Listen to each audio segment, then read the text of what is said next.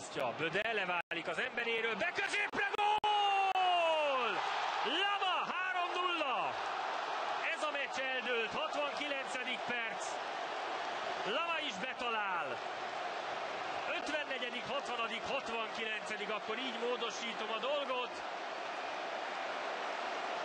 Roland Lama is gólszerző 3-0 a Ferencvárosnak a kupa döntőben. Én azt gondolom, innen nincs visszaút figyelnek a védők, Böde remekül válik le az emberéről, és Lamáról pedig lemarad Stopira a hosszú oldal.